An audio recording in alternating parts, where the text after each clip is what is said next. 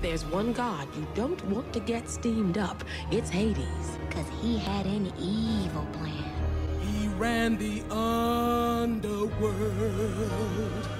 but thought the dead were dull and uncouth. He was as mean as he was ruthless, and that's the gospel truth.